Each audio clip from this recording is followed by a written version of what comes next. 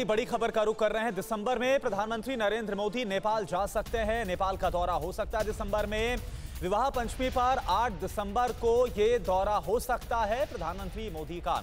Jaynagar Janakpur rail line का उद्घाटन इस दौरान किया जा सकता है। भगवान बुद्ध के जन्म स्थान लुम्बिनी भी प्रधानमंत्री जा सकते हैं। प्रधानमंत्री के तौर पर चौथी बार नेपाल का दौरा होगा प्रधानमंत्री का।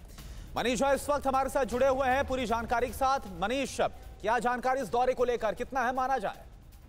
जी हाँ बिल्कुल। देखिए, ब्रिटेन के ग्लासगो में जब भारत के प्रधानमंत्री और नेपाल के प्रधानमंत्री की मुलाकात हुई और इसको लेकर एक चर्चा भी हुई थी और उसके बाद दोनों प्रधानमंत्रियों ने एक दूसरे को अपने यहाँ आने का न्योता दिया था।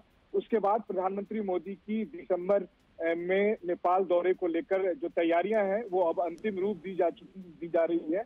दरअसल हम सब जानते हैं कि जब नेपाल के प्रधानमंत्री के पी शर्मा ओली थे हम्म। तब नेपाल का जिस तरह से चीन के प्रति झुकाव था तब भारत और चीन भारत और नेपाल के रिश्ते में एक अलग सी करवाहट देखने को मिल रही थी नेपाल लगातार भारत को चिढ़ाने की कोशिश कर रहा था लेकिन वहाँ पर सत्ता बदलने के बाद जब शेर बहादुर देवा नेपाल के प्रधानमंत्री बने और फिर प्रधानमंत्री मोदी से उनकी मुलाकात हुई उसके बाद से काफ़ी सकारात्मक माहौल बना है और प्रधानमंत्री मोदी की इस यात्रा में मकसद यह है कि भारत के सहयोग से जो रेल लाइन बिछाई जा रही है जयनगर से जनकपुर तक जो बिछाई गई है उसमें उद्घाटन करना है ताकि वहाँ रेल सेवा चल सके।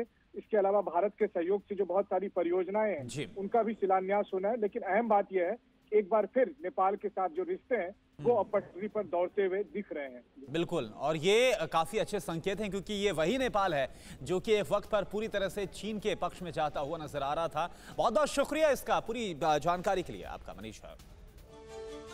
परवाह देश की।